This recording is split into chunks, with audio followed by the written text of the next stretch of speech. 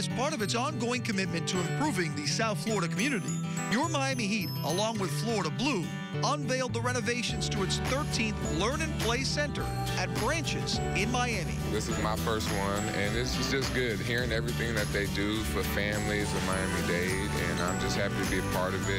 I'm honored and humbled to be a part of something like this. Um, the Learning Center is just is for the kids mostly, you know, it's for the community. It, it also helps the parents. We've got great Samsung products here for the kids. We've got great uh, both uh, electronic things. We've got books. We've got libraries. We've got these fantastic graphics. So it's really a really nice opportunity for us today. There's no better investment that anybody could make here in Miami-Dade County than in our young people. So I just want to thank the Heat for coming together to do great work on behalf of our kids.